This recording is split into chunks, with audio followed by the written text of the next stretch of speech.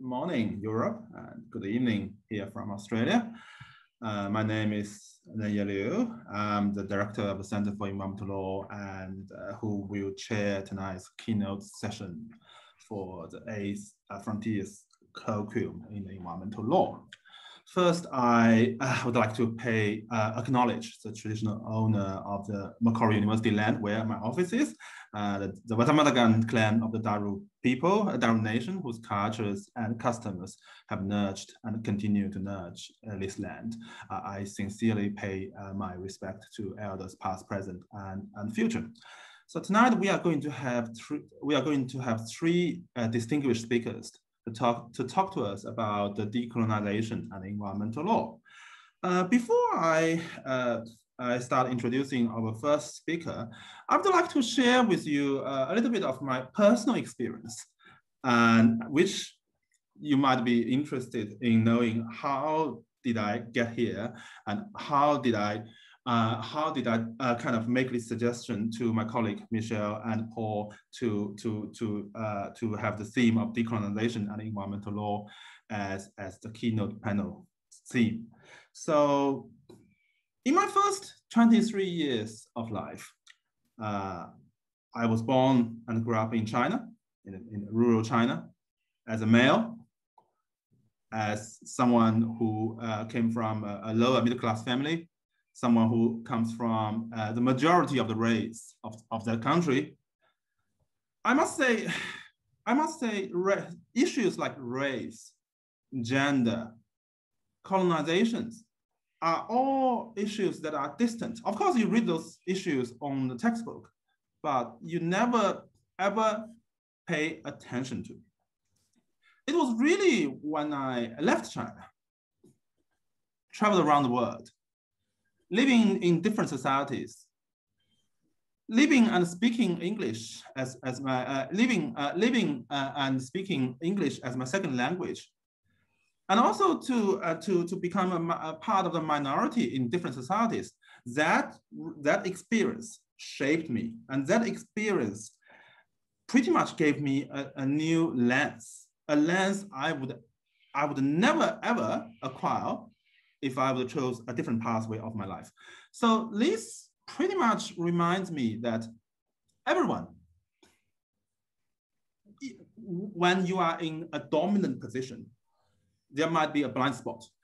And this blind spot can hurt, as we know that we have, we have had thousands of international environmental agreements. We have had a, a, comprehensive domestic environmental law in different countries, but the current environmental law, be it international or domestic, are not successful, are not successful, and has not been able to to, successfully and effectively effectively deal with the global, the profound global environmental crisis that we are facing today. So, what are what are the problems? There are many problems that we can't solve in this conference. But at least what we can contribute from my perspective is maybe we can address some of those blind spots in the environmental law making for those people who are in charge that when in the future, when we are develop, we are trying to develop better laws that will help. So colonization is being one of these kind of blind spots that I would say. Physically, we don't see that much colony, we don't see that much colonization today. I mean, after the decolonization uh, process after the Second World War, now we have more than 190 sovereign states in different parts of the world. But colonization, the impact of the colonization is enduring. And it is still existing to large extent because it now exists in a way of cultural and psychological that it really determines whose knowledge is privileged. So by having, and we are very fortunate tonight by having these three uh, different speakers, and we hope that these, these three speakers who will present different perspectives on the challenges of the overcoming uh, of the overcoming the legacy of colonizations in societal, institutional, and legal context, that this kind of inspiration outside of the box of the environmental law community can provide some kind of inspiration for the environmental law community and also beyond the environmental law community here in Australia and New Zealand. So I will just stop here. And now it is my great pleasure to introduce our first keynote speaker tonight, Dr. Jo Rey from our Macquarie University. Uh, Dr. Joanne Rey is uh, a Darug Aboriginal community member. Uh, in 2019, she completed her doctoral thesis, The Country Tra Tracking Voices, Darug Women's Perspectives on Presence, Places, and Practices at Macquarie University. So based on her research, she was invited to develop a first year undergraduate unit within the Macquarie University Indigenous Studies Center, uh, or actually department. Uh, and also he be she became a fellow, a research fellow with Macquarie University's Indigenous and Geographical uh, Geography Department in 2020. Uh, it is very exciting and probably it's very uh, kind of uh, uh, touching that in 2021, she and Darug Women collectively were invited by the New South Wales Government Department of Planning, Industry and Environment to lead a women's cultural burn at Browns Waterhole. Actually, it's not far from not far from my house. So this will be historic. This will be historic when undertaken because it will be the first time since the colonization that, that a Darug-led women's cultural burn has been government approved and facilitated. My question, of course, is and from as an outsider is why it took so long.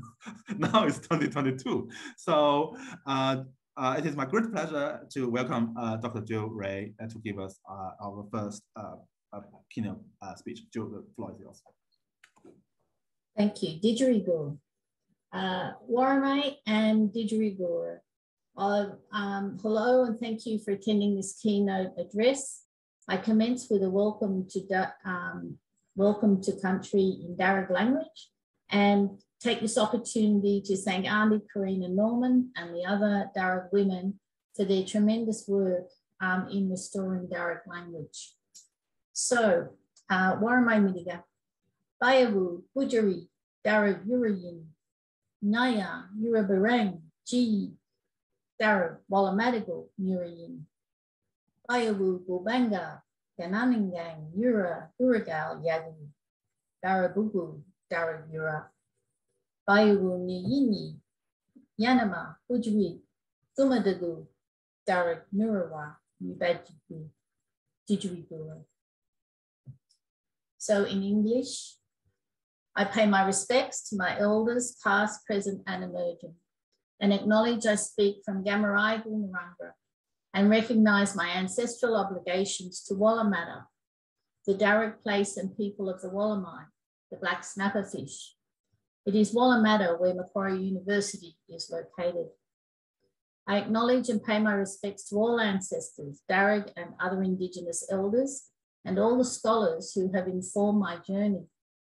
I welcome and thank everyone attending this very significant and timely forum and acknowledge all the elders and ancestors' wisdom that you bring today.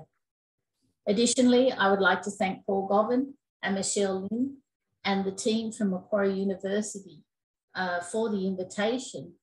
And Aboriginal scholar Paul, uh, Professor Bronwyn Carlson, who has nurtured my academic journey since completing my doctoral candidature in 2019. This includes developing and teaching a Darug-centered unit here at Macquarie University. I thank her for recommending me for this task today. I have a couple of disclaimers. Straight up, I'm not a lawyer of any kind. And more specifically, I'm not an environmental lawyer.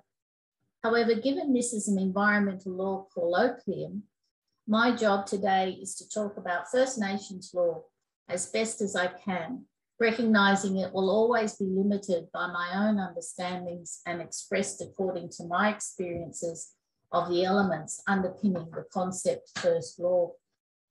As such, this addresses a synthesis from elders, both communal and scholastic. As such, I cannot and do not speak on behalf of others. So thank you to everyone. I rely on everyone's contribution for my own. The principal knowledge holders I will reference include the amazing work of Auntie and Dr.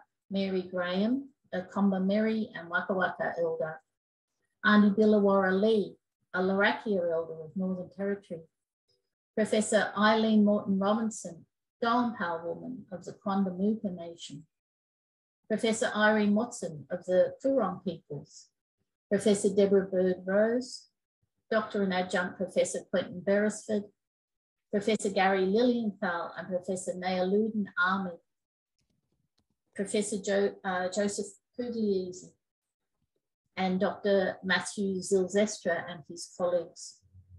But foundationally, at the heart of my journey are the seven Darug women who provided their insights for my doctoral candidature and thesis and continue with their support today.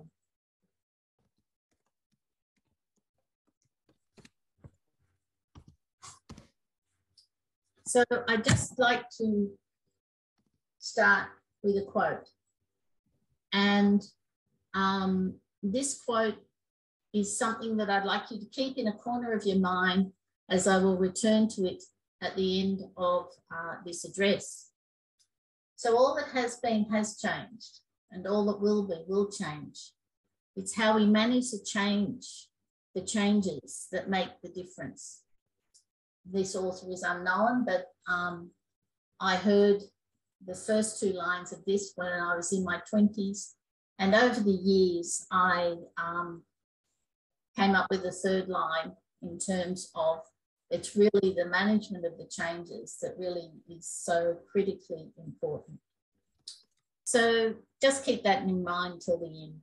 So this address considers what the practical gap is between the dominating approaches of the last 234 years and those sustainable approaches of the last 65,000 years or more.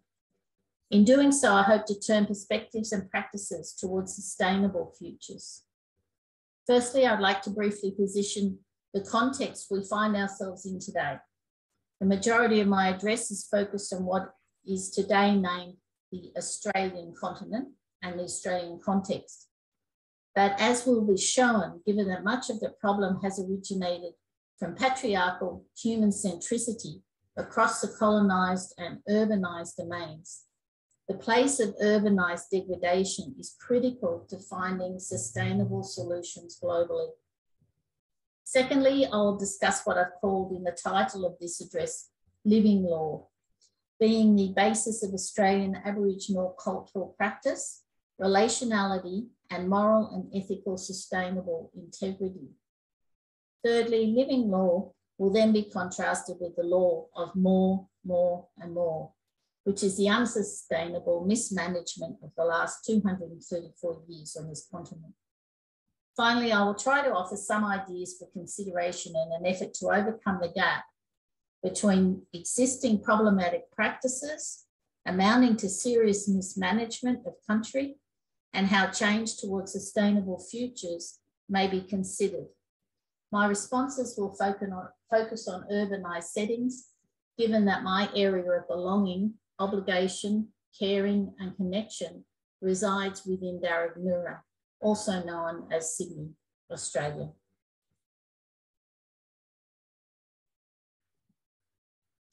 So here we have a map, a global map of colonisation since 1500 to 2000. Um, notice the palest cream colour. This is not listed as colonised. Everywhere else is, with the British at light purple, French at green, Spanish at orange, Portuguese at dark brown, and Dutch at dark purple. So the problem for European centric and Western mentalities that have driven and perpetuated colonization is that they had no connection with the lands in which they arrived, whether it be Australia, America, Canada, South America, or India, just to name a few. The intent of colonization was not to care for country, only to take over and develop the place for the benefit of Western powers and reap the profits in the process. For Australia, it was the British empiricists. In the Australian context, this started on Darug more commonly known as the majority of the Sydney Basin. However, like a rash, the takeover spread across the continent. And with name changes at every step of the way, so-called Australia grew. Along with the mismanagement of land and water resources, heroic narratives, greedy vested interests, and a de determination to suck every morsel out of the landscapes, country is now gasping for survival, just like the million fish gasped their last in the Murray-Darling Basin in 2019. The 2021 work of Dr. and Adjunct Professor Quentin Beresford articulates this history of mismanagement across the 234 years in his most recent book, Wounded Country, a contested history of the Murray-Darling Basin.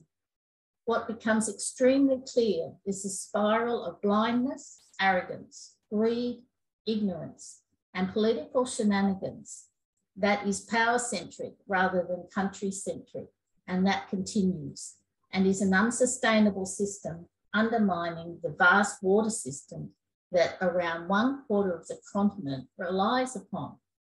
However, while Beresford's work is extremely important because it focuses on the huge Murray-Darling Basin, a food bowl covering more than a million square kilometres that includes and crosses so-called four so-called Australian states, South Australia, Victoria, New South Wales and Queensland, an area larger than France and Germany put together, it is only one part of the story that needs to be considered in the face of pending climatic catastrophes at our doorstep.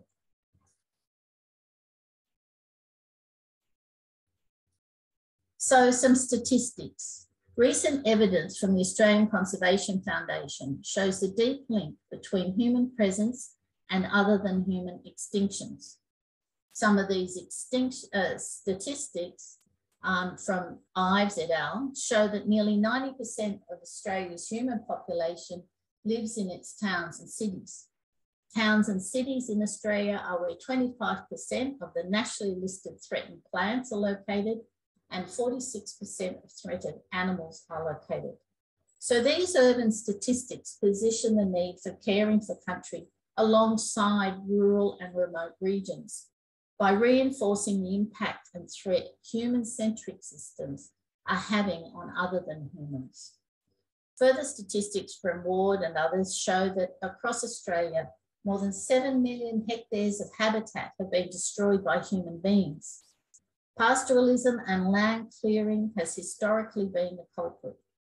Given urbanisation is not simply an Australian issue, it is reasonable to recognise these imbalances can be globally extended. In the current climate challenging context, recognising humans' central role in the demise of ecologies demands that we are central to the restitution processes. A short list of catastrophic destructions and extinction events relevant to this continent since 2018 include the largest living organism on the planet, the Great Barrier Reef, is under threat with frequent coral bleaching events. The megafires of the summer of 2019-2020 wiped out more than 10 million hectares, including suitable habitat for 69% of all plant species and 44% of Australia's threatened plants being burnt out. And I'm quoting Gallagher here. Around a million fish died in the Murray-Darling Basin as a result of the contribution, sorry, of the uh, conditions of the river system.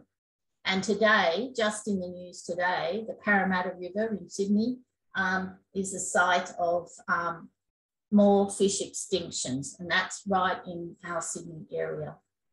And locally, the Hawkesbury Nepean River system, known as the Darubbin to our Darug people, is under threat from the New South Wales state government as they try to raise the Warragamba Dam wall against, against their World Heritage obligations, against Darug and neighbouring custodians' wishes, against renowned archaeological advice.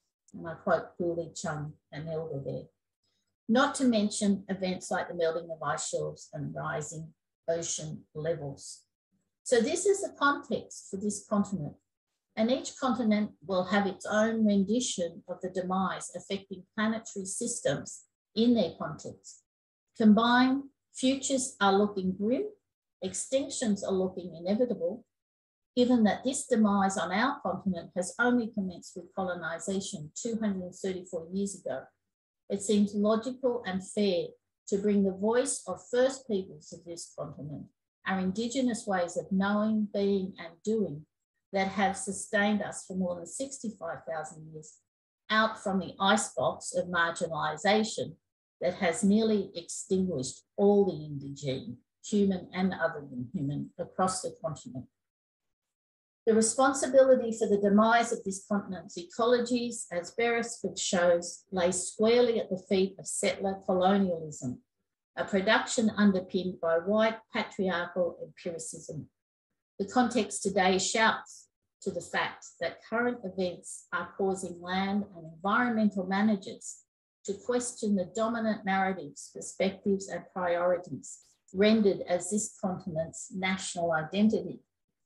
Understanding First Nations living law offers an opportunity to transform practices from perpetuating hierarchical disconnections for the purpose of increasing vested interests, power, and wealth to sustainable systems of country connection and a worthy, legitimate national identity.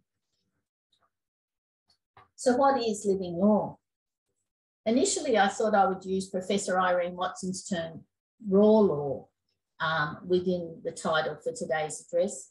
As she points out, this term for, for the Aboriginal Code of Social and Political Conduct applies to when the formation of law was raw, multi-millennia ago. However, many had their own ways of expressing Aboriginal law. Arnie and Dr. Mary Graham says law is the land, cultural practice and law is the foundation of relationality.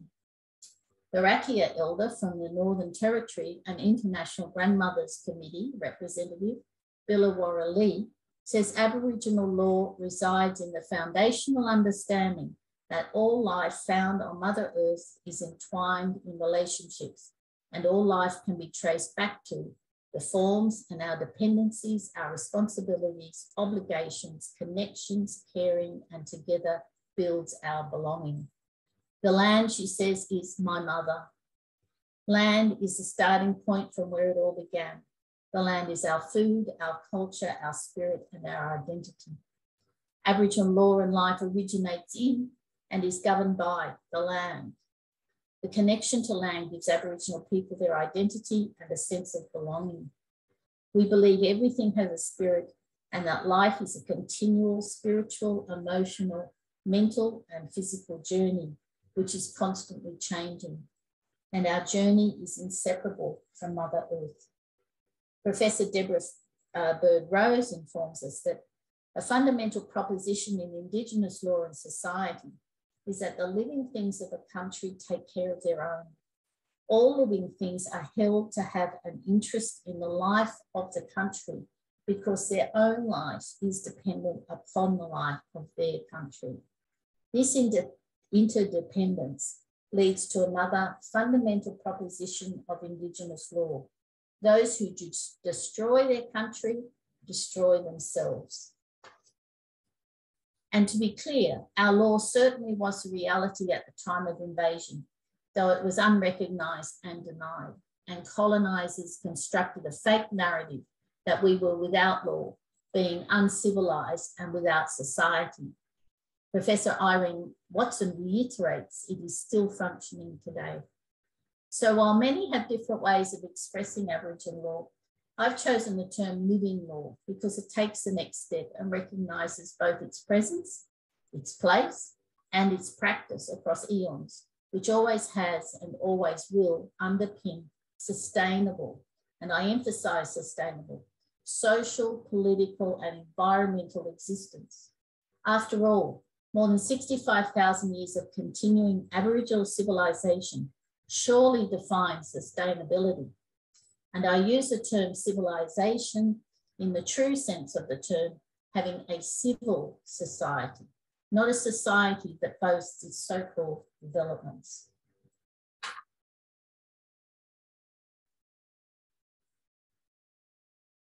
So, living law, it's a web of relationality. As others noted, Aboriginal law is founded in relationality recognizing life is an interweaving, not a hierarchy. Living law is therefore a living relationality with presences, with places, and with people. Together they make up Nura or country. I use the term presences for all forms having a presence, human, other than human, physical, metaphysical. So this web of um, living law is a web of active relationality. And it, it is made up of all of these things recognition, respect, equitable relationship, rights of humans and others, reciprocity, responsibility, and restitution. The purpose of any living relationship has to be and is sustainable well-being for the humans and the other than humans in that relationship. For sustainable well-being and relationship to live in any ecology involving human society, all seven elements in the web are required. Firstly, activated recognition and acceptance of the need for all of the web's other six elements. Secondly, respect respect for the presences, places, and sustainable practices of others. Thirdly, equitable relationship with the presences, places, and people of country. I think that's a, a, challenging one for many. Rights, the rights of others, human and other than humans, that also is a challenge. Responsibility, and I know Paul was talking about responsibility at the very beginning of the um, conference this morning, res responsibility in word and deed for honouring those relationships. Reciprocity in caring for and being cared by and through those relationships. We can't just keep taking, we have to give back. And when things aren't done correctly, restitution and res reparation are required. So based on this core, Therefore, logic dictates that sustainable country requires living law as an active and collective practice for sustainable custodial relationships. As such, just as happened for thousands of years, human collectives must be caring for country so country can care for us locally. This was and continues as custodial practice. Living law as custodial practice, even when country is a city. So this figure is adapted from my thesis, um, Country Tracking Voices, um, and um, Darug Women's Perspectives on Presences, Places and Practices, and arose from the findings of the doctoral research into custodial practice according to seven Darug women on Darug Nura, that is in the city. And what was found was that living law as custodial practice involves connecting, caring, and belonging to the presences, the places, and the people. As such, it shows that even when country is a city, living law is being fostered through continuing custodial practice by Darug community. Through what Steele and others call quiet activism, connecting, caring, and belonging to presences, humans and other than humans, places through cultural practices is being undertaken across several Darug sites. It shows that in order for a sense of belonging and a sense of caring for country, connecting over time and creating strong relationships with the presences and the places within country is required. This too is being undertaken through my undergraduate teaching at Macquarie University. However, current Western law imposed upon the continent since 1788 does not and cannot position equitable relationship as a caring for country practice because it fails to acknowledge its own illegality. As such, it dishonours the relationships it requires for sustainability. In this next section, I'll explain why. Decolonization. This is a term that um, Deborah Bird Rose used in 1999 and the current law of more, more, and more. Decolonization is underpinned by a system of cultural arrogance. Many have written about settler colonialism, including Pugliese, Beresford, Moreton-Robinson. Basically, it involves eight interwoven factors underpinned by cultural arrogance. Firstly, disconnection. As Rose put it in 1999, no ethic of connection or open dialogue. Secondly, racism as settler colonial practice and white supremacy, where natives were classed as needing to be civilized, thus the establishment of edu colonizing education systems. And my own great great great grandmother was put into one of these institutions as a um, nine year old. Patriarchal hierarchies of power as continuing settler colonial practice. Christian dogma perpetrating consumption of Earth's resources as God's will. We think of the Garden of Eden, um, storing um, where everything was, was for the benefit of Adam and Eve. Possess, possessions, possessors, and power agendas. Um, and Pugliese writes um, and quotes Kyle Powys Whyte um, in 2020 and explains settlers can only make a homeland by creating social institutions that physically carve their origin, religious and cultural narr narratives, social ways of life and political and economic systems, e.g. property, into the waters, the soils, air, and other environmental dimensions of territory or landscape.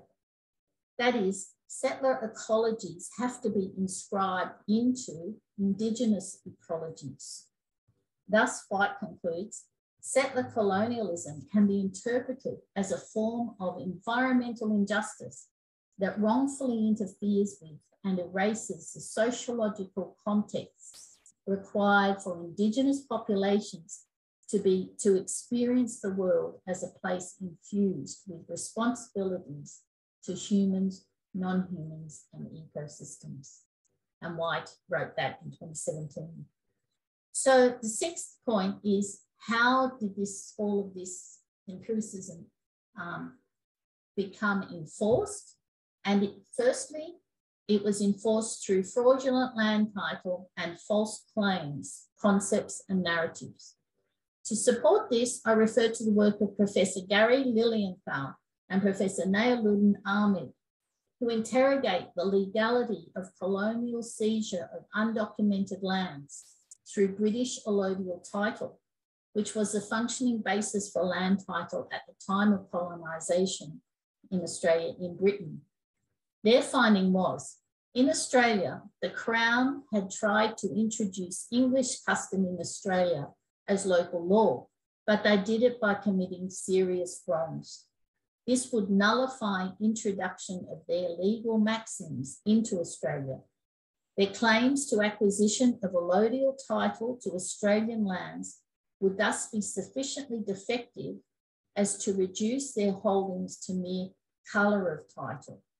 Their malefides in their attempts at land acquisition would defeat any claim to convert their colour of title into successful claim for adverse possession. Secondly, these fraudulent land title claims were deepened with a mania for ownership, development, and progress narratives, political shenanigans underpinned by governments influenced by vested interests, and we're still tackling this one, and mismanagement of land and water resources. And, you know, the Murray-Darling Basin and Moranbah Dam are just two examples of that. The seventh point of deep colonisation was the Anglo-Western education for cultural conversion, which educates for the development, progress, consumption, driven human-centric systems by educating for jobs that support so-called heroic colonizing histories rather than subjugation realities, more competitive education practices, structures and values, more engineering solutions rather than ecological solutions, more planning and urban development solutions rather than sustainable living solutions, more wealth and consumption through business, finance and Western economic mentalities, more status and power through competitive values, including globalizing marketing narratives and legal systems that support business as usual. And the eighth point of all of this is that it's all um, enforced and um, maintained through mass media and marketing networks. So altogether, the fiction of rightful sovereignty is a festering wound that denies the living law of sustainable relationality, which lies at the heart of the destruction and near extinctions of the indigene, indigene since 1788. Well may Beresford speak of the wounded country in the title of his 2021 work. So, sustainable futures and a certain wisdom, making the turn. This isn't, I don't see this as a conclusion, but as a way forward, turning perspectives and practices towards sustainable futures. In the era of climate changing threats, perpetuating the current system is no longer tolerable. Short-term thinking cannot sustain us. For sustainable futures, we need fundamental change. I argue this change requires acceptance of living law for sustainable futures, governance based on grounded realities of relationality for sustainable futures, practices that create and establish situated and localized relationalities of connecting, caring, belonging to presences, places, and people, and cultural change in societal places. I suggest three sites for these societal changes workplaces, education places, and community places. How? Environmental law enacting living law needs to function from the ground up. Respect for the rights of other than humans, rights of the river, oceans, forests, flora and fauna. Cleaning up and empowering localities. Strengthening collective outcomes, not individualistic greed. Working locally. You know, imagine what it would be like if we could all work within a um, uh, bicycle ride from our work. Educating for local futures and local employment, caring for country locally. Education for sustainable futures, strengthening the local connections to care for communities, especially in the cities. Changing the work narratives of for profit to for sustainability. Changing work narratives from bosses and workers to mentors and mentees creating localized health and well-being from emphasis to succeed to emphasis on caring and belonging.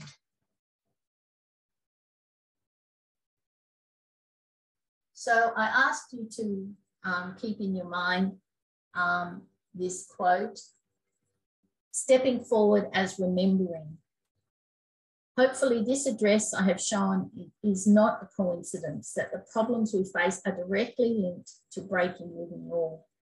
It's no coincidence that the well-being of countries is integrally linked to the well-being of humans.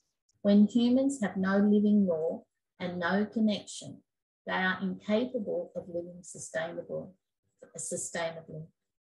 As Zylstra um, and colleagues have shown, connectedness is at the is is a core conservation concern. And he called for this practice back in 2014 so let's remind ourselves of this quote. All that has been has changed. All that will be will change. It's how we manage the changes that makes the difference please take this with you for your consideration yanama budri kumada walk with good spirit locally. Thank you. Thank you so much, uh, Dr. Joanne Rey. Uh, this is such a fascinating uh, and a beautiful presentation uh, from uh, Indigenous perspective on uh, decolonization and environmental law. So we will have a Q&A session at the end of this panel. So in the meantime, if you have questions, please uh, feel free to write uh, your question in the chat box or in the Q&A function, uh, and we will handle uh, at the end of three presentations. So now it is my great pleasure to introduce our next speaker, uh, Professor Mindy Chen uh, Wishart, the Dean of the Faculty of Law, University of Oxford. Mindy is one of the top contract lawyer in our world. So as I just say very briefly, uh, she holds a fractional professorship at National University Singapore, visiting professorships at the University of Hong Kong, National University Taiwan, Otago, Auckland, Canterbury, Göttingen, Thammasat, and Renmin University in Beijing. She is the author of the Contract Law, uh, seventh edition, published by to be published by OUP this year, and uh, she's now leading a six-book project on the contract laws of 14 Asian jurisdictions, and of which three are published, and the fourth is in production. So, but I must say, and I must introduce Mindy in a different way because how I got to know Mindy is not because of her top expertise in contract law or her role as the Dean of the Faculty of Law at the University of Oxford. Mindy is, is this, uh, how could I uh, describe, is this uh, massive, uh, heartfelt, and so well needed uh, campaign on Twitter uh, called uh, Race Me Too. Uh, she launched this Race Me Too campaign uh, on Twitter, I believe, uh, at the beginning of this year, or no, actually from last year. So that's how I got to know Mindy, and I must say um, I'm one of the one. I'm one of the supporters of this very well needed campaign on Twitter. So now it is my great pleasure and honor to, to, to uh, introduce Professor Mindy Chen to uh, deliver her presentation uh, from an institutional perspective on today's topic. So Mindy, the floor is yours. Thanks. Thank you so much, uh, Michelle and Nengye, uh, for inviting a humble contract lawyer to join your so much cooler environmental law community. Um, my job is to remind us that decolonization starts from our own institutions. So um, as you've been told, I started a Twitter campaign after a, a, a, coincidence of events, three things that happened very closely together. Um, first, an incident of very overt and frightening racist abuse directed at me and my three sons as we walked away from lunch somewhere. Um, and secondly, being challenged going into my own office. They didn't believe I was the dean and I needed to get into my own office. Um, and thirdly, the Pro Vice Chancellor interviewed me as part of Oxford's increasing focus on race equality. And I thought, okay, then you say you care, let's see if you will listen.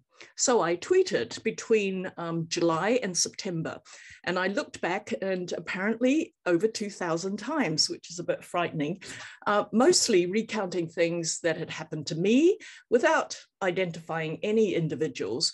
And I wanted to highlight systemic racism and unconscious bias. So, for example, I talked about the fact that when I first got my job at Oxford, I brought my children to show them around the garden of my college, and an undergraduate tried to throw, throw us out as tourists. Um, because you know we weren't supposed to be there, and actually, an, a, a, fellow academic threw us out of the hall even after I explained uh, that I would be joining them as a, as a new colleague. Um, in a tutorial, the very first tutorial some years ago, when I critiqued the, the views of a white man, um, the student ascertained that I had no degrees from Oxford and, and said, I don't mean to be rude, but why are you teaching us? The answer is I read, you should try it. Uh, at my first formal dinner, work dinner, the colleague next to me said it must be really hard having um, some young children. And I, and I took this to be an empathetic remark until he added, because you can't be a proper academic, can you? And then he, he followed that with, and you can't be a proper mother. And then he added that he, he himself would never immigrate uh, because immigrants never belong so um, I took that rather hard in my first first social occasion of, of my new job. Um, when I forgot my library card and I asked to look at a reserve book saying I was faculty, I was told by the librarian, you don't look much like faculty. Um, I was walking my PhD student uh, out after a supervision, and he is uh, a Pakistani, and we stopped in the front quad to finish discussing a point, and a white tourist was taking photos, and she said to us, can you please move out of my picture because I want to get an authentic shot of Oxford. Um, when I entered uh, a college to teach and brought a Supreme Court judge of an Asian jurisdiction with me, I was told that uh, tourists were not allowed. Um, and even yesterday, I was challenged going into a college, even though I was with the colleague whose college it was. So they didn't see her, they saw me and immediately jumped at me and said, uh, What are you doing here? So now, the reach and impact of the hashtag really surprised me because I was just sitting in my office, you know, an armchair warrior, tweeting away, but it prompted racialized minorities to share their experiences of race um, and express some relief that their hurtful and humiliating experiences uh, are being aired. But most of them wrote to me privately saying they were too frightened to share their stories publicly. For example, a black postdoc told me that her husband was so humiliated about being challenged going into her college that he thereafter refused to go, and so she didn't participate in any of the social events. Um, the Korean wife of an academic uh, was again challenged and humiliated when she was trying to meet her husband in college, and she never wanted to go into college and they left after two years.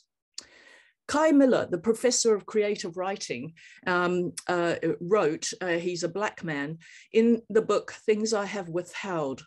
He said, On my first day in my present job, I arrived early. I am now a fully fledged professor. And so I was in my office so very early on my first day. It took me by surprise when the door began to jiggle, though it seemed to take the cleaning lady by much greater surprise to see me. She screamed and ran away. I shrugged and thought in time we would meet up officially and laugh at this. But soon the campus security arrived, burly men talking briskly into the walkie talkie. I had to present IDs and photographs just to explain the spectacle of my body in this space, to prove I had the right to be there and how our titles meant nothing in the moment in that moment, I was no longer um, a professor and the woman a cleaning lady. I was just a black man and she was a white woman, and my presence terrified her. So I think the very first thing we need to do is enhance the training of support services so that racialized minorities are not constantly being made to feel that we don't belong, that we are objects of suspicion. I'm always told, of course, they're just doing their jobs. And my question is, why are they always especially good, so especially assiduous where racialized minorities are concerned? Now, of course, people never think that they're racist. They never intend to be racist. But when you're constantly on the receiving end of it, it's exhausting. A continual reminder that other people don't think you belong there. Now, when racialized minorities are treated as imposters, it's no wonder that so many of us have imposter syndrome. And I go back to Kei Miller. He says, I have grown so weary of intentions. I did not intend to be racist, they say to me all the time. He did not intend to be racist. If there's no intention, how can it be racist? They think the logic is so devastatingly simple and clear that it cannot be answered. But it is only that I have grown weary, as if one could say, it was an accident. I did not intend to push you to the ground so that the pain that you claim to feel shooting up your back cannot be real. It cannot be real because I did not intend it. So my second exhortation is that institutions really need to listen. They have they love to display people of color in their websites and glossy brochures as they loudly self-certify as anti-racist. Yeah, but such color washing is just insulting when institutions don't want to listen to us. Um, those opposed to change often say, certainly in my neck of the woods, if it ain't broke, don't fix it. But whether something is broke or not depends on who you ask. You'll get different answers from the slave owner and as from the slave. The axe forgets what the tree remembers. So ask racialized minorities to share their experiences as students, as academics, researchers, staff, and it's really important that what comes back doesn't just go off into the ether, lost in the Indiana Jones warehouse at the end of the Raiders of the Lost Ark. There must be analysis and translation into uh, active responses. But in general, I have found that racial, racialized minorities have learned to be silent. And this includes quite senior people who've contacted me, and it included me before July. I've been an academic for 35 years. Now, why? Because raising issues are met with silencing strategies. For example, first, uh, I met with, well, we let you in, we gave you a job. You should be grateful. If you don't like it, go back where you came from. Um, secondly, you're successful. Look, you're the dean. And that shows there's no discrimination. So, so just shut up. Thirdly, they say that what you, the thing that you're complaining of, you know, which happens to you constantly, has also happened to them once. The implication is they're white, so it can't be racism. Fourthly, uh, you're accused of being hypersensitive, angry, prickly, can't you take a joke? Fifthly, they provide a, a non-racial explanation for the behavior, anything but race. They individualize the experience and deny its structured or frequent nature. So it's really about you, it's not racism. Sixth, they say my Black, Asian, mixed race, friends, partner, kin, colleague, neighbor, children, grandchildren, they don't think it's racist. Seventhly, they accuse you of being sexist, homophobic, transphobic, intolerant, bigot, bully, harasser. Um, eighthly, they change the conversation. They highlight any mistakes you've made, however minor or irrelevant, and make that the issue. And ninthly, they say, hey, we're the good guys. You're being over the top. And it reminded me that Martin Luther King expressed his frustration um, at the liberal response to his activism. You know, they say, we support you, but you're doing it the wrong way. If you want our help, don't make us feel bad. And, and this coincided with a, a, a recent um, conversation with a friend. She said to me, Oh, she was listening to a Black woman talk about racism. And she was so extreme. She said, It would make you want to join the KKK. And I was really shocked. I said, Nothing should make you want to do that. And she doubled down. And I said, Oh, gosh, I was really surprised. And I said, Oh, I think I've learnt this off Twitter from my Twitter friends. And I think it's called white fragility. And she got even more cross. she and, and I said, Oh, oh, and I think it's called white woman's tears. Well, that didn't help. She was furious. And I said to her, Well, it's really interesting how angry you are about this. We didn't speak for some time. So I would say, please listen to racialized minorities with humility, without rationalizing, excusing, avoiding, defending, blaming, punish, punishing, or gaslighting. The second reason for the silence of racialized minorities is in the idea of stereotype threat. So the idea is that people are likely to perform poorly when they feel threatened or undermined. A person is who is aware of the negative stereotypes about intelligence or ability of a group to which they belong feels threatened and they worry that performing poorly will simply confirm the stereotype. And that in turn undermines their performance. There's a lot of literature on African American students in the US, on uh, women, on the elderly, on low socioeconomic status um, students. So stereotype threat produces a marked physiological response a person doesn't have to believe in the stereotype to be um, badly affected by it because it reduces your self concept and your self esteem. It lowers your performance expectancy. It induces negative thinking. I'm not good enough, so I need to do more work. It triggers um, alienation, dejection. And this itself triggers a self protective defenses that consume cognitive uh, resources. And that interferes with working memory. It creates cognitive interference and impairs performance. So it's like you're trying to multitask. Um, stereotype threat responds to social constructs that produce our unconscious biases. These are our instinctive automatic responses to others based on deeply ingrained beliefs, family values, cultures, and life experiences. They're absorbed by children before school age from the family, um, from the media. I remember when my son was five, he, he said, Mummies don't know as much as daddies. And I said, Oh, that's interesting. Why is that? And he said, Daddies go to work and mummies stay at home. And I had to say to him, Where do you and daddy take me every weekday? To work, he said. And I said, And what does daddy do? Oh, he stays at home with us. So you can see that it trumps their lived experiences. And they found that even women and racialized minorities exhibit biases against women and racialized minorities. I told a white colleague that I always feel I have to be well prepared for conference talks because I always start with a credibility gap. I always have to prove why I'm talking. And he said, huh, it's interesting. It never occurs to me that I won't be good enough. Um, in his memoir, Long Walk to Freedom, Nelson Mandela tells of boarding an Ethiopian Air, Airways flight in his early days.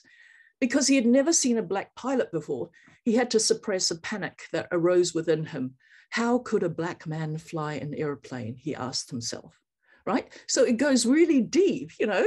And if Nelson Mandela has unconscious bias, we all do. Yeah, perhaps if I met a Taiwanese woman educated in New Zealand who purports to be an Oxford professor and dean of the law faculty, I would be very dubious. So we need allies. We need to uh, allies to drive systemic improvements to workplace policies, to fight injustice and to promote equality through validation, you know, to say, I see you, I hear you, I respect you, I acknowledge your hurt. Um, and that happened to me for the first time, you know, I, because of the Twitter campaign, I, that I found really moving, you know, who said, I'm listening and reflecting and learning and wanting to be part of the change. That said, I hope to honor your generosity in sharing your experiences by working harder, never to marginalize my colleagues and to always intervene if I see, hear, or read racism in professional contexts. Allies pay attention to how minorities experience meetings and other gatherings, and they stay alert to uh, inequities and disparities. Allies consider their own behavior, their own privilege, and use it as a platform for good. So it shouldn't have to happen to you for it to matter to you. There's no need for great malice to do great harm. The absence of empathy and understanding is enough. Silence and complacency in situations of injustice makes you complicit. The standard institutional response to mentions of racism is a declaration by the institution that they're anti-racist. And they say, oh, we have a robust uh, complaints procedure. Now, complaints procedures are necessary, but they're not remotely enough. And this is the third reason for the silence of racialized minorities. Accusing someone of racism is like accusing them of being a pedophile absolute nuclear war breaks out and the accused will fight to the death. The complainant is cast, uh, is cast as the problem. They're the troublemaker and they're frozen out. There's a huge emotional and personal cost to raising these. Your damage to your reputation, your future prospects, oh, she's troublesome, and um, you become socially alienated. So we need to find a way for people to raise problems without triggering nuclear war. We need to signal from the very top, from the leadership, the importance of diversity and inclusion and keep going, keep doing so, because it gives others in the institution a mandate to pursue certain policies or to do things in one way rather than another. We need to allocate proper resources to it, and we need to put E&D representation on appointments panels. This is important not just to race, but to all protected characteristics. When we come to selecting for excellence in research, in appointments, we have a tendency to reproduce after our own kind. We can't help it. It's instinctive. We lean towards people who look, dress, speak, have similar backgrounds, mannerisms, sense of humor to us, and we lean away from those who are quite different. Those in gatekeeping positions value the type of research they recognize that they did themselves that engage with their interpretations and agenda that keeps them relevant and the top dogs. They devalue, marginalize, and silence different voices. When I started my Asian contract law research in 2012, um, I got very discouraged by senior academics. Why are you bothering? They said, it won't do anything for your career. And what would you learn anyway, right? And when I said I was applying from, for research funding, um, I got sneers. You think people are going to give you money for that, you know? Um, but at a UniS conference where someone was advocating some what he thought was his brilliant genius, I put my hand up and said, you know, did you did you talk about Japanese law? Because you know, Japanese law is has is what you are suggesting, and it's been what you are suggesting for over a hundred years. So is Korean law. So is Thai law. You know, let's not reinvent the wheel. If you knew what was going on, you you you wouldn't be uh, reinventing the wheel. So I just want to finish with asking, what does it take to thrive in academia? First, you need to be creative and persuasive. And for that, we need confidence, self belief, a sense that my views matter, right? But secondly, and crucially, we need acceptance and recognition as being excellent, of having a presence, of being acknowledged by others in the relevant community, so that you feel that you have something to say and that others will give you the time of day. So we need, we need you. Racialized minorities have long had to edit themselves to be acceptable, to be heard, to be recognized, to be given some of the goodies from the table. Lewis Hamilton recently said, um, the entry point to my sport, uh, F1 driving, was a square and I was a hexagon. And I thought, I'm not never going to get through that bloody thing. So I had to morph myself way in. And then I go back to the shape I was before. So racialized minorities are often not admitted to the social circles of belonging, of colleagues asking for your views, of taking what you say seriously, asking you to join the football, the drinks, the coffee, the dinner, stopping to have a chat, giving you eye contact or a nod of acknowledgement as recognition of belonging. Um, failure to do these things is racism by omission. As Elie Wiesel said, uh, the opposite of love is not hate, it's indifference. We all have unconscious bias. To deny it is an oxymoron. Um, we need to transcend our own subjectivity and to the, enter the world of others. Diversity is not a zero sum game. Like the gene pool, diversity strengthens us, not the least to meet uh, future challenges in living sustainably with our environment that's me. Thank you. Thank you so much, Mindy. Uh, I'm so touched by your.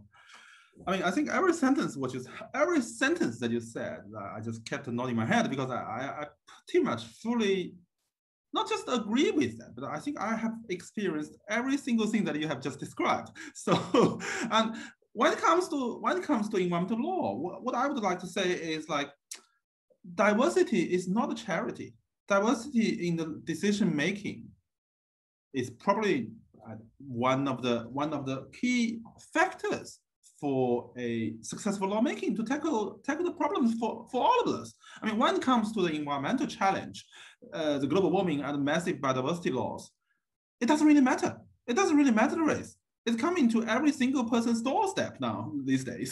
So we do really need a very uh, diversified voices in those uh, decision-making process to make better environmental law, be it domestically uh, uh, or internationally. So I, but it really starts from home or from our workplace, as, as both Joe and Mindy suggested. Like it's actually starts from our home base rather than somewhere far away.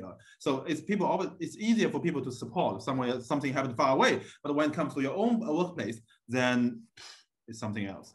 So um, thank you so much again, Mindy, for your time for, for this very uh, touching uh, talk. So now our, our next speaker is, and last speaker of the panel is uh, Dr. Dina Lupin. Uh, Dina is the uh, director of the Global Network on Human Rights and the Environment. Uh, she's a legal theorist uh, working in feminist, queer, and decolonial philosophy. I believe now you are working at actually the Department of Philosophy of uh, University of Vienna, right? So, so even though uh, you are in the uh, in the legal sphere, and I think you are you are that type of lawyer that we very much need about thinking deeply in philosophy. So, uh, and also, by the way, the Global Network for Human Rights and the Environment uh, uh, our, our own Paul is, is Asia Pacific director, and so the, the, the network is also co-supporting uh, of this uh, Frontiers conference. So without being further being introduced, Dina, so uh, the floor is yours, please. Thank you. Um, first, um, just a quick word of thanks to all the organizers of this fantastic event. Um, it's really uh, a great privilege to be part of this panel. It's a little bit intimidating to follow those two extraordinary talks. Um, thanks to Paul and Michelle and Sarah for all the organization and, and, just having me be part of this. It's very exciting. And I think my presentation in some ways is, is going to feel very different to the two preceding presentations. But I, but I actually want to suggest that it brings together some of the themes that, that the previous presenters have talked about. And certainly I think um, it brings together kind of issues of indigeneity and environmental governance, and maybe some of the practices of silencing and marginalization and exclusion um, that, that Mindy's just been talking about. Um, at least, at least I hope it, it does that. Um, when Paul wrote to me about participating in this panel, he, he suggested that we look at the connections between the notion of responsibility decoloniality and environmental law. Um, and I'm going to try and do that sort of through a, a justice perspective. But before I do that, um, I want to just um, show you this map and, and talk a little bit about the, the sort of legal and jurisdictional context that I come from, which is South Africa and, and the practices of consultation that happen there. This is a map of Mpumalanga, which is a province in South Africa in the, um, in the northeast. Mpumalanga, as you can see, borders with Mozambique and, um, and Eswatini. Um, and, and what you see in this map, the purple are mining rights that have been granted, mining that's happening, and the red is prospecting applications. This map is actually out of date. It's, it's nearly a decade old, I think. Um, and the situation today is actually much worse. Over 60% of um, the land in Mpumalanga is subject to mining and prospecting license applications at the moment.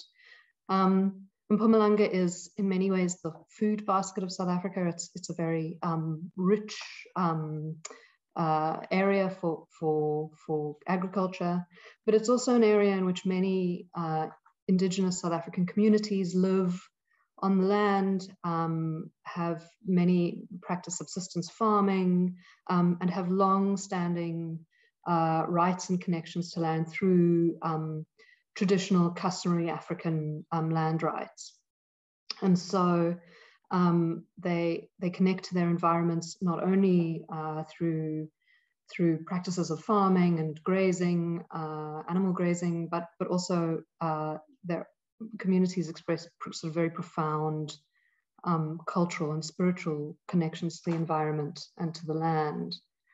Um, and for indigenous and traditional communities in Mpumalanga, who I should say their rights to land have been uh, kind of very radically diminished and diluted by uh, centuries of colonization uh, and then apartheid and uh, more recently um, corruption.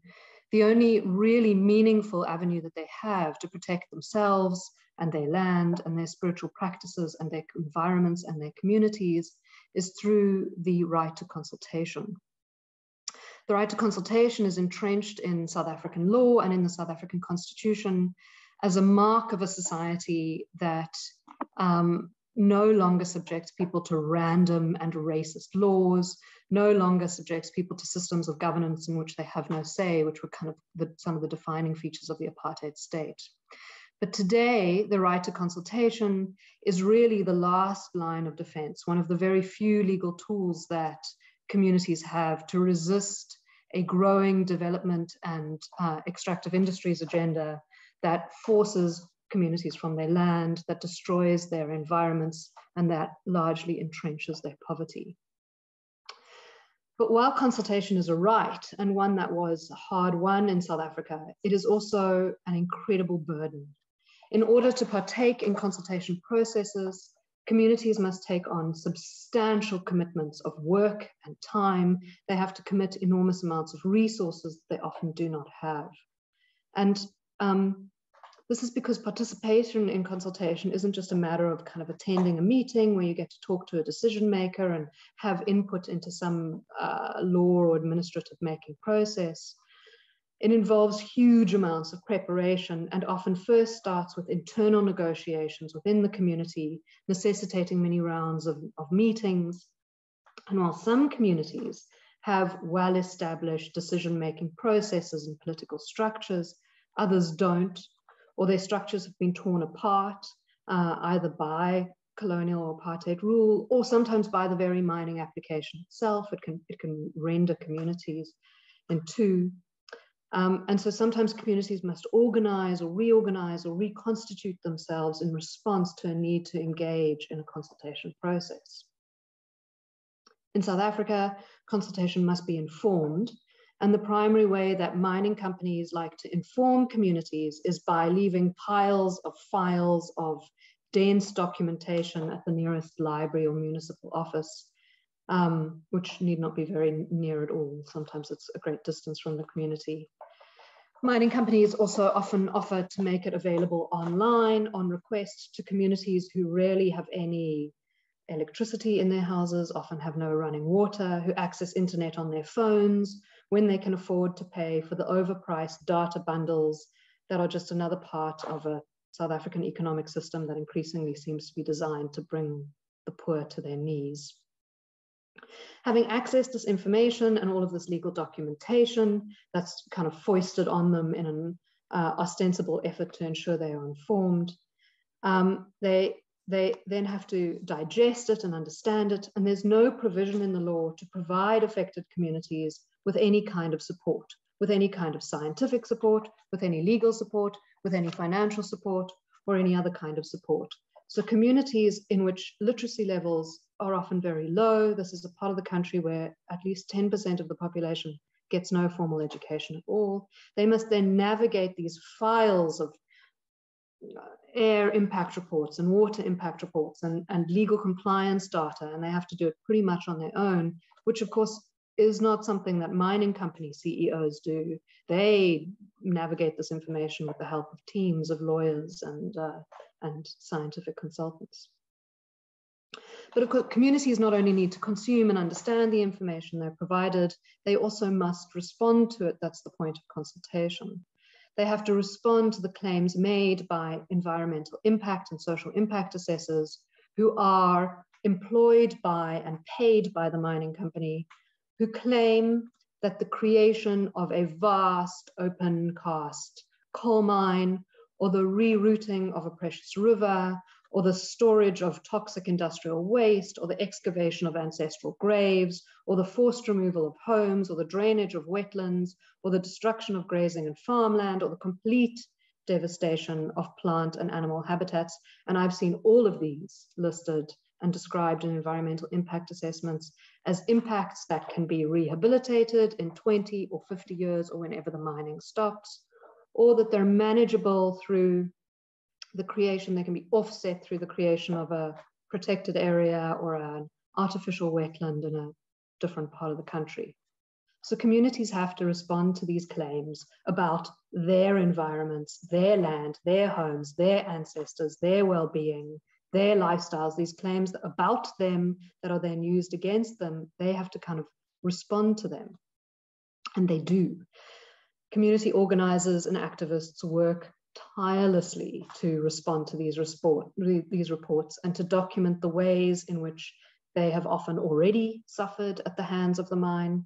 They travel from household to household, often across huge distances, gathering stories and information calling on community members to detail the enormous social, environmental, and economic impact that mining has. They consult elders, they consult ancestors, they write down the names of objectors, they detail the way they live with and on their land, they write about their environments. And then they take this information, which they normally would be reluctant to share with antagonistic mine company representatives and indifferent government bureaucrats. They take this information and they attend a consultation meeting. But consultation meetings are rarely organized in a way that suits the lifestyles and schedules and ways of speaking of many community members. They take place at awkward times in locations very far from where the community lives. The community will organize and pay for transport. They'll take leave from their jobs. They'll get up at four o'clock in the morning to travel and attend this meeting. And they're expected to travel, sometimes great distances, to engage in meetings that then often amount to little more than endless, tedious PowerPoint presentations, not in a language the community speaks, by some mining company PR employee. The community is then given limited time to speak. They're told how they can speak. They're told the language they're allowed to speak in. They have to speak one at a time.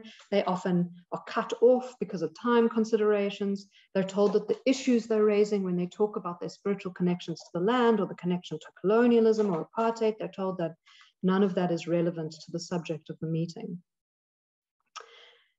Those comments that they make are, that are then deemed by the person who's organizing the meeting to be relevant to the impact assessment are then compiled in a report which is connected to the impact assessment, which is connected to the license application, which is then submitted to a government decision maker.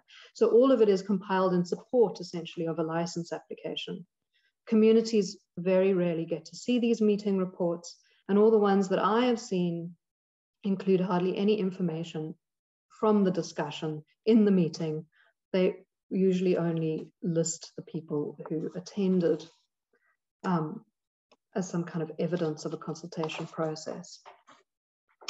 And this, I should say, is an account of the good cases. These are cases in which consultation actually happens. In most cases, these communities wake up one morning to find mine excavation equipment in their front yards without any consultation having taken place. And then their only option is to like try and find allies, public interest lawyers, interested journalists, pro bono scientists who will help them as they become embroiled in what inevitably become lengthy battles, legal battles, court battles, simply to try and get mining companies and the state to comply with their most basic obligations under law to include people in decisions that affect them. As you can see from that dense map of applications, communities face multiple projects. And within each project, they face multiple applications and legal processes. So they have to navigate a whole process around water use license applications and environmental authorizations and mining authorizations. Um, and in addition, no sooner has one consultation process ended and another begins as another company looks to prospect or mine or build a road. Um, so communities are beset by license applications and these processes unfold over months and years. They often have to appoint a particular community member who will take on the job of dedicating all of their time to this without funding or support of any kind. There is, I have to emphasize, no support in the law for these communities, no funding, no advisory services, no money to pay communities for their time and their labor, for their expertise, for the assistance that they give to making decisions about how land should be used in this country. The whole exhausting, demanding, burdensome process is seen as their right for their own good and so compensating them never crosses the mind of a mining company employee or a state bureaucrat. So why do it? Well, the cost of failing to participate is devastatingly high. Where one has the opportunity to participate, but one does not, one's consultation is essentially taken as community consent. You consent to the mining when you don't participate. You consent to your own forced removal. You consent to the radical, far reaching devastation of your land and your fragile environment. This is the situation in South Africa. I know the details differ quite significantly, but as many Indigenous activists um, have, have pointed out, this burden of consultation is much the same in many other parts of the world.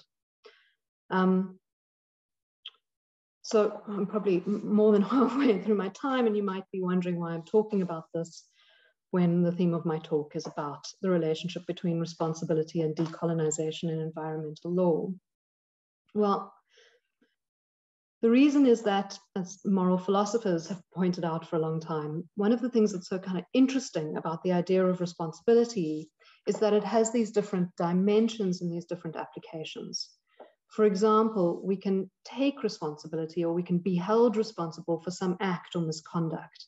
In this case, responsibility is backward looking, concerned with accountability or blameworthiness for some past action. But one can also be responsible for or to someone. Responsibility can be forward looking. I am and feel responsible for my child. It's a responsibility I connect to love and care rather than blameworthiness. Um, Indigenous scholars like uh, Kyle Whyte, who Joe spoke about earlier, have also pointed to responsibility as being about um, agency and, and epistemic authority in Indigenous communities. In the context of a lot of environmental scholarship that, that, I'm, that I've kind of been reading, though much of the focus has been on recognizing human responsibilities to the environment. And responsibility in this context is often contrasted with rights where rights are seen as demands we make on the world, um, which are well established and, and recognized in law, while our responsibilities often go unacknowledged and unlegislated. So there's a tendency to think maybe that we don't have responsibilities to the environment. But in fact, these environmental scholars have argued we ought to recognize both our responsibilities for past harm to the environment and our duties to the environment beyond our anthropocentric interests in it. But what I hope to highlight in um, my discussion of the burdens of consultation is the fact that the idea of responsibility can have a dark side. This is because responsibility can not only be taken or given, it can also be shirked. We can shirk both our backward looking and our forward looking responsibilities. We can refuse to be held responsible for things we've done, or we can refuse to take responsibility to those to whom we have duties and obligations. And in some contexts, and I would argue, especially in the context of environmental harm, when the responsible party shirks their responsibility, that responsibility is shifted onto someone else. Just as the benefits of environmental harm are not evenly or justly distributed across our societies, the burdens of environmental responsibility are also not justly distributed. These burdens are increasingly laid across the shoulders of Indigenous forest dwelling and rural communities, of women, of children, of those with the least capacity to bear them. Those who've done nothing wrong are held responsible for centuries of environmental disregard. Those with less than nothing to give are weighed down with duties and obligations of environmental care and repair. And I believe that the right to consultation has increasingly become a means of shifting responsibility from those who shirk it, namely states and industry, mining and energy companies, in my example, onto impoverished communities, marginalized communities, who stand to lose the most from industrial development of the kind we see in that Mpumalanga map I showed you. The right to consultation has been integrated into the process of license application decision making in such a way that the mining company has the task of arguing for mining. They have some legal obligations to establish that the mining won't result in known or foreseeable harm that cannot be rehabilitated or offset. But their job here is not one of responsibility or care for the environment. Equally, as the decision maker, the state positions itself as an adjudicator be between what becomes articulated as competing social interests. The state's not a participant with a responsibility to the environment or to the community with a duty to protect. Since the state's a decision maker in these cases, it's excused from having a voice in the supposed debate between the alleged economic benefits of mining and the undeniable harm that mining wreaks. The state shirks its social and environmental responsibility as a license applicant with shareholders and contribution to GDP to worry about, the company also shirks its responsibility. And as a result, the responsibility shifts. The job of providing an alternative narrative to the mining company or to resisting biased scientific accounts of arguing for preserving and protecting the environment, of arguing for the protection of the community and its members and its traditions falls to the community itself. The right to consultation has been transformed into a responsibility of consultation and a responsibility of care for the environment. And as I've argued, this responsibility is a heavy burden. It's a heavy burden for anyone but it's been laid in the laps of the very communities who've been denied the resources, the support, the finance, the protections they need to carry these burdens. So my point, I think, ultimately is maybe uh, quite a sort of narrow and obvious one, but I think we need to pay attention to responsibilities in environmental law and governance. I think we need to pay attention to our backward-looking blameworthiness and our forward-looking obligations to the environment. But in the neo-colonial, neo-apartheid realities of our societies, and not just South Africa, but most of our societies, we need to understand our responsibilities and who bears them through a justice lens. And that's me. Thank you very much.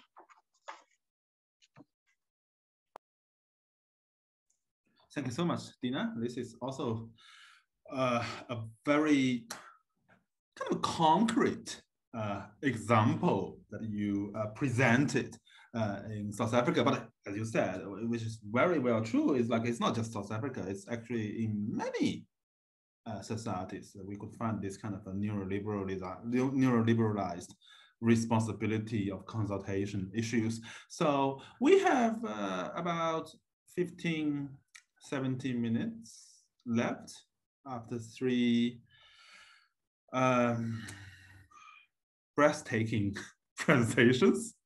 And I, I, myself thoroughly enjoyed all your presentations. So now, is there any question from the panelists uh, and also the uh, attendees? So I, I, see there is a specific question uh, from Angela uh, toward, towards Dina regarding that proposed amend amendment to the section 40, 43 of the NEMA.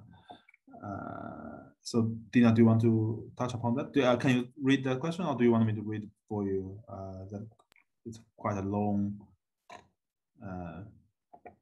description of Angela. I think Angela is also from South Africa. So apparently she's very familiar with, with what's going on. Do you want to quickly touch upon uh, your, the, question? What well, Angela's question points to to a kind of current controversy. Um, the, there's there's been a proposal to change the law that um, essentially. Um, so one of the things that's very progressive about the South African system is that civil society uh, has great standing to um, to bring cases and to and to often be a voice for the for the uh, for, for, marginalized and rural communities.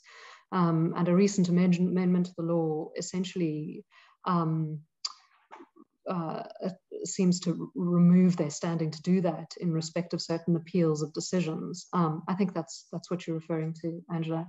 Um, and I think I think I think this sort of connects to what I'm talking about in, in a different way. So a lot of my research and work looks at the ways in which um, the, the ways in which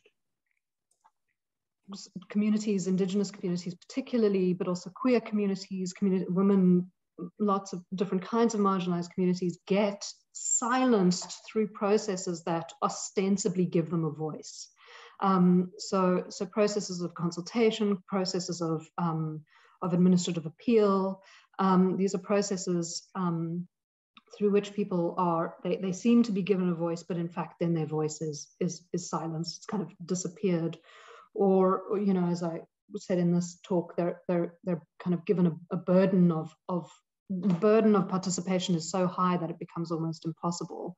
Um, and in a way, this is this amendment is a kind of much more explicit silencing, and it's a pattern we're seeing in many countries in the world of of just sort of um, pushing civil society um, who, who often are the advocates for the, for the most marginalized out of processes of decision making.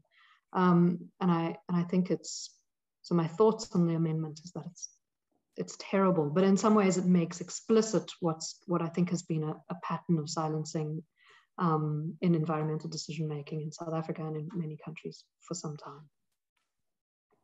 Yes, thank you, Dina. Uh, next question comes from uh, Dr. Sri Wartini from uh, University Islam Indonesia. Uh, yeah, Shriti has been a very active participant in this conference. And uh, uh, he, her question reminds me of what I recently read about this, this, I don't know if anyone heard about the solar punk? Like uh, pretty much I, I feel like her question is really if, if i may to interpret this question is like it's pretty much like the future looking of the in, in, of the environmental law international and domestic. Is like when we have achieved the decolonization what would the international environmental law look like? What would the environmental law look like? Uh, and would this kind of environmental law be more kind of a justice? I guess so. And also especially to uh, to kind of fill the gap between the north and the south, and also the intra-generational uh, kind of gap. Um, yeah, I don't know any panelist wants to, Joe, Mindy, or Dina, do you want to share any thoughts on that? that what, what, what would it look like? I think that's kind of a very much a future-looking vision. Like, what, what do you see the future of the world when we have achieved the decolonization. I, I think that would be very exciting. I, mean, I would like to know. I'll start, I'll start just by apologizing because my camera and the screen on my computer is black. And so I've only got my big screen functioning. So that's why I'm looking this way rather than to a black screen there. I'll try and move backwards and forwards for you. But um, well, this was this was what I was trying to look at in terms of um, what can be done um, in terms of not putting the burden. Well, responsibility is a burden when it is when it is enforced through, um, as Dina pointed out, um, through a bureaucratic te- um, tactic basically. Um, tactics are being used, my understanding is um, to, uh, to silence and um, it's not accidental, it's intentful, it's full of intent.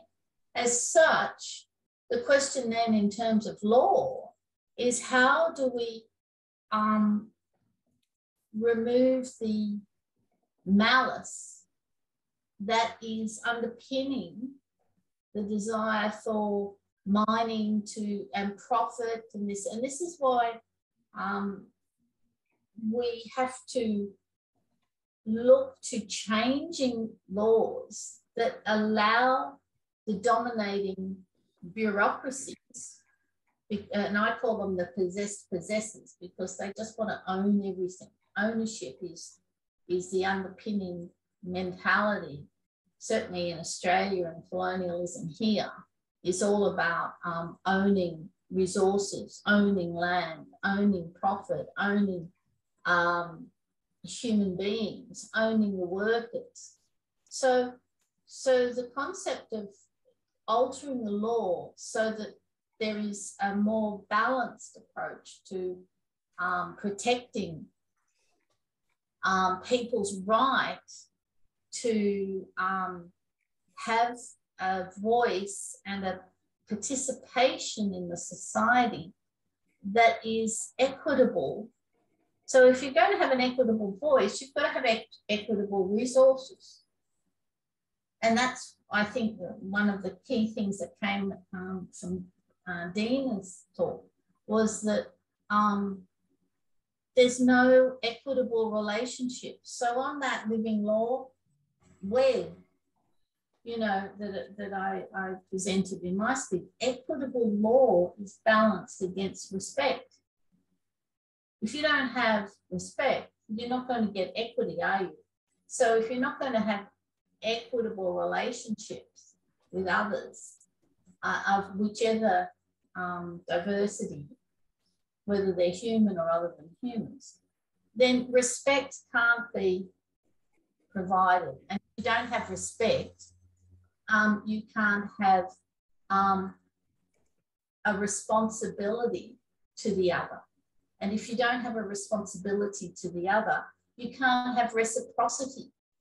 So that's why that web is full of all these dimensions that, that enact it. And, and nothing can be left out. Because if anything gets left out, the whole thing unravels. And so um, bringing back the notion of what it is to have a relationship, an equitable relationship, a respectful relationship, one that involves other than humans as well as humans' rights. This is a problem that we've always had, you know, um, since colonization was the disrespect, the inequities. All, the, all those words can have their opposites, you know, um, and no restitution. So for the people who are having everything stolen from them, um, whether through mining or, or um, false law systems that have been implanted. Other countries are in a different situation, but Australia has no treaty. We've never ceded our country. And as such, the whole legal system, as um, Lilienthal and Ahmad point out, it's, it's false. It's based on false premise. It disobeyed its own law in terms of the British when it came. And the whole narratives have been based around a false legality. And it's never been um, accepted. And, and of course, you know, violence, settler colonial violence um, against the peoples, settler colonial violence against the landscapes, settler colonial violence against the rivers, the forests, you know, everything even today, as I said, you know, the toxicity, toxicity in the waters. When I was young, we could swim in these waters. Now they're completely polluted. That's because they're disrespected.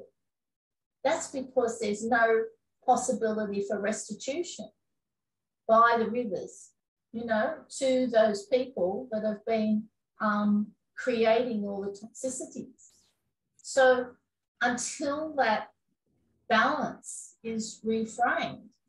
And this is where the, the role of environmental lawyers is absolutely, is absolutely critical to actually um, pull apart where the inequities are, pull apart where the, um, the, the lack of relationship, the lack of respect, and transform those.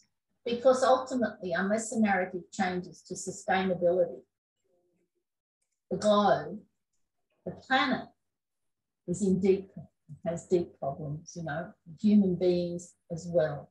The imbalances are already being felt. The mega fires that we've had here in Australia, I'm not sure what goes on for, for Africa or, um, you know, other continents. certainly we hear we hear a lot about what the fires going on in America, for example. But these imbalances and um, are completely able to be dealt with if we return to, and uh, this is my my argument, but um, if we turn return to localized relationship, going down to our local forests, our local places of caring and actually spending time connecting with them. This is, this is what I teach to the students, non majority of non-Indigenous students, that we need to reform our connections to the country, our connections to the presences there. And actually, it's only by connecting that we can actually create a relationship and actually begin to care. So um, I hope that answers the question. Thank you. Thank you, Jo. Mindy?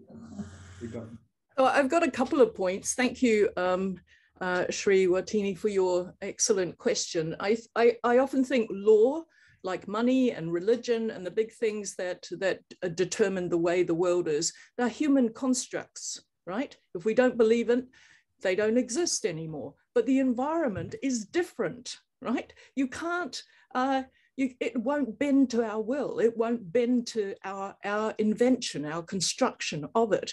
So we have to listen to different voices um, of people who are actually on the ground in um, the particular environments that there are in the world. Um, and you know, I, I, I remember advancing an idea when I first got to Oxford, and someone just you know, put their nose up at me and said, well, I'm not convinced. And I thought, well, what kind of an argument is that, right? That's the argument of somebody who's incredibly superior and says, you just have to match my, you have to impress me. And I said, why are you not convinced? And he said, oh, my nose tells me so. And I said, oh, the olfactory test. I mean, really? And I just think that there is a North and South issue here, right? A lot of uh, academics from the South will say to me, their research is not recognized. You know, their research is rejected as being, uh, they're not published, they're not uh, recognized as being good. Um, and they suffer quite a lot of distress from this.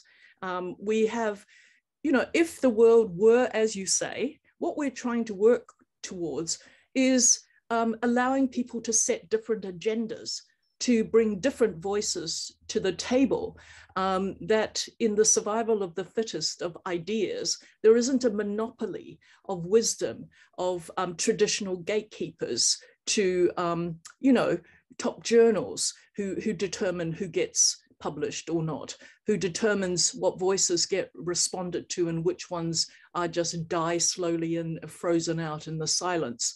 Um, so I think we just have to work much, much harder at understanding and listening to people because they won't necessarily respond to anything that we recognize because they're putting new things on the agenda. And I can I can I finish by saying I'm really delighted to hear from um, both the other speakers, but particularly Dr. Joe Rey, because you know I've always wondered about you Australians paying respect to unceded land and so on. And I'm thinking, that's pretty shocking, really. I have to say, my initial reaction is always, where's the meaningful restitution? I don't think it means much to, to, to, to Indigenous people to, to have you, to hear you say, yes, we stole your land. Yes, it's unceded. Yes, we're staying on it. We pay respect to you that's it you just get the verbal acknowledgement but we're not giving you any we're not doing anything meaningful in terms of restitution so i heard her talk about restitution and i can't help but say what uh, strikes an outsider um, every time these these when I go to something in Australia and somebody you know recites this mantra, and I think, how do Indigenous people respond to this? It's pretty in, infl- inflammatory, I'd have thought. Sorry, but, just to throw a grenade in there. yeah, no, no, no. That's absolutely um, what we're trying to work, walk towards. Um, is you know, first of all, recognizing what the difference is between an acknowledgement and a welcome, and that they're, they're not the same thing. And then to recognize that if you are welcomed onto country, you uh, it's like walking into somebody's house. When you are invited to someone's home don't trash the place. You, you pay respect to the people who have invited you there. If if the owners are lucky you might get a gift. But the point is that it, this is our home. This is our place of belonging our caring.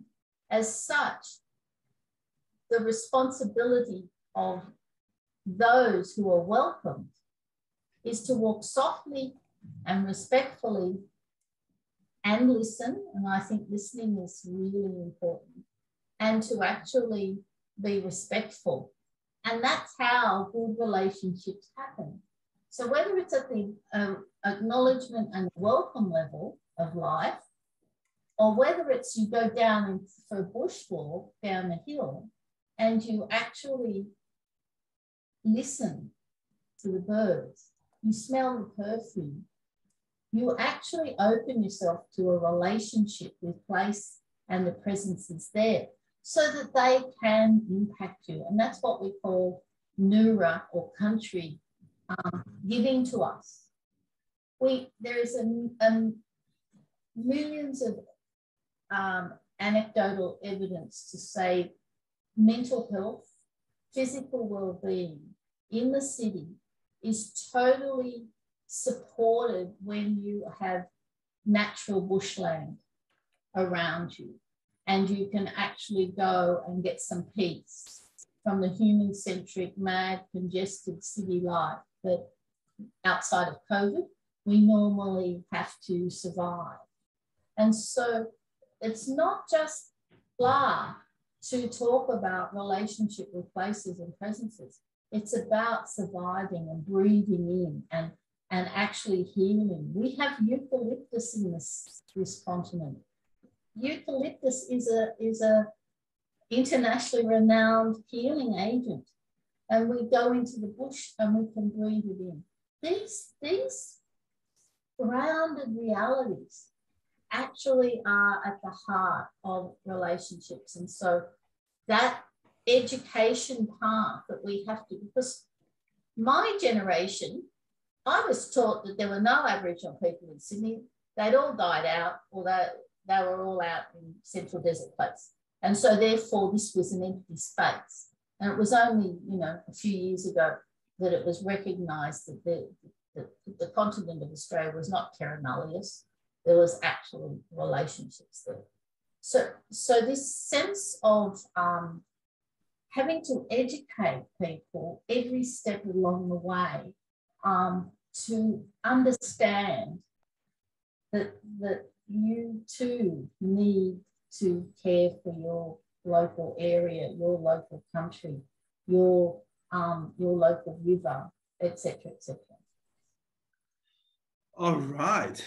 I think now it's already three minutes past 9 uh, 45 p.m. here in Australia. And uh, I mean, we could go on and it's, such a fascinating panel. And I can see there are still questions in the chat box and in, in the Q&A, but I must wrap up here. And also, as I always said, and you know, uh, we here at the Center for Environmental Law, we, we constantly organize different kind of uh, events that our panel today will end here, but our dialogue continues.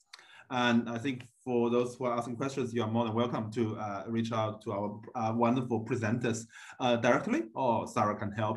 So uh, with this, uh, once again, I would like to thank uh, Joe, Mindy, and Dina for your wonderful, wonderful presentations tonight.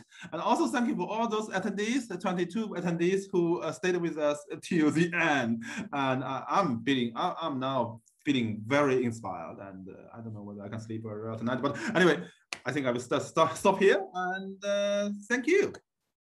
Thank you. Bye-bye. Bye. Thank you. Walk with good spirit. Thank you.